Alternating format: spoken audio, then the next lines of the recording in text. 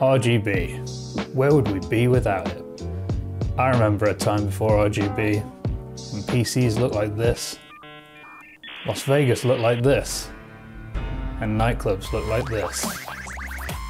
Hmm, it's not too bad actually. But now,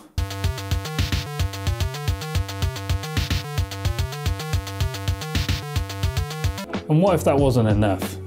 What if you want RGB on your bike, on your skateboard, on your car, on your toilet roll holder? Well, I'm here to help.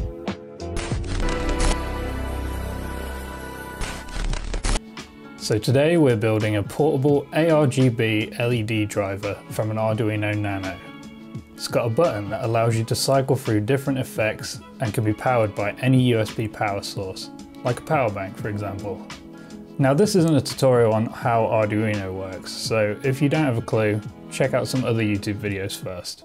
There's loads of great ones. I based my Arduino sketch off of the Adafruit NeoPixel strand test, but I fixed it so it'll loop infinitely. The link is in the description if you're trying this out for yourself. The only thing to note here is the pinouts. In this case we've got 4 for the button and 6 for the LED strip. And the pixel count here this is simply how many LEDs are on your strip. In my case it's 10, but you can do up to 30 through 5 volt USB. Just change the number if you're using more or less.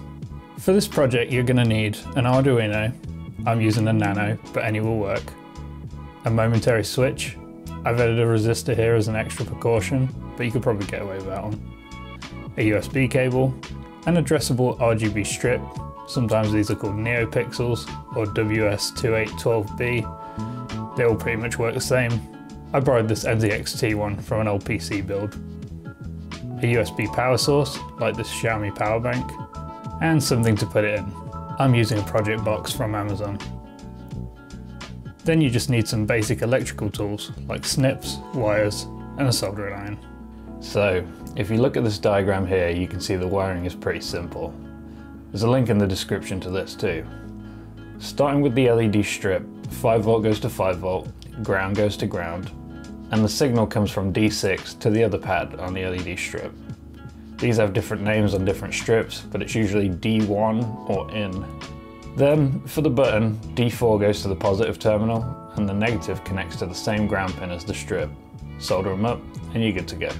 Once you have the circuit complete, plug it into a power source to test that it's working, and we're on to creating a housing. For the housing you could use anything non-conductive really, like a matchbox or a Tupperware tub. But if you're using a project box like me, you'll just need to make three holes. One for the USB port, one for the button, and one for the LED strip. To make the holes, I just drilled through the case and then, where required, bored out the hole with a Dremel and a grinding bit until it was the right size. The Arduino can then be stuck down. I used a hot glue gun for this, you should note if you tested your circuit outside the housing like I did, you'll have to disconnect the button and reconnect it once it's seated properly in the case.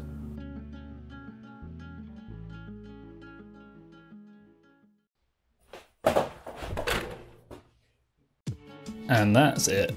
Now you can attach it to whatever you like just by getting creative with gaffer tape and zip ties. The nice thing here is if you like playing with code, you can add additional patterns, or if you hate that stuff, just copy and paste the one in the description. Thanks for watching. If you like this kind of stuff, stay tuned for more projects, tutorials and other bits. Doodles.